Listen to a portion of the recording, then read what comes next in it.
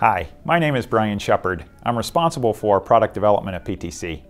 I'd like to take the opportunity today to introduce to you Windchill 10.0, the largest release in our company's history. We really think it provides benefits for our customers in a couple of key areas. The ability to do more in product development, know more about your products, and get more from your investment in PLM. Let's start with doing more across the product lifecycle. With Windchill 10, we expect our users and customers will be able to do more in detailed design, in creating variants and optionality in their products, and in verifying and validating their product configurations.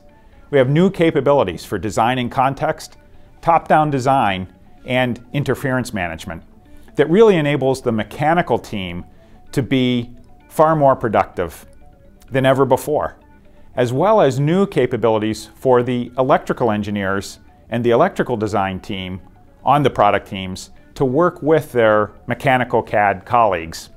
We really have a rich and highly integrated experience for both mechanical and electrical design.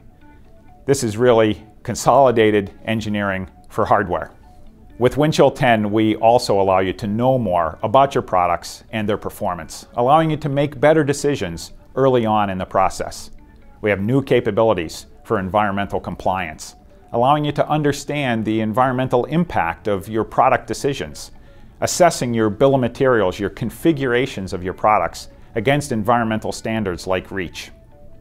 We have new capabilities around cost modeling and cost roll-ups in Windchill 10, allowing you to track and monitor the progress of achieving your cost targets all the way through the development process, from very early on all the way to releasing to production and with a new focus that we call quality lifecycle management, an integrated approach to bringing all kinds of tools for quality management and reliability prediction into the overall end-to-end product development process. Again, something we call quality lifecycle management.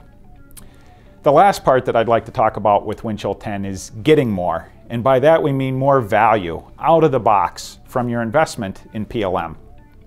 With a brand new user experience in Windchill 10. We really think it will be easy and fun for the users of Windchill to adopt Windchill 10.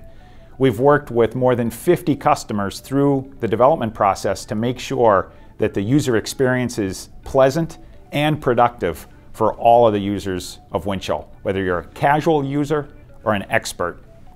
Windchill 10 is also better for IT. We expect that the product is more serviceable easier to monitor, easier to upgrade, easier to maintain. So it's a real win for the IT organization as well. And Windchill 10 provides a platform for the future. You'll see more solutions and more products from PTC delivered on top of Windchill 10. Later this year, you'll learn more about our service information solution built on top of Windchill 10, really enabling Windchill to be used by the service organization. I hope you're excited about Windchill 10.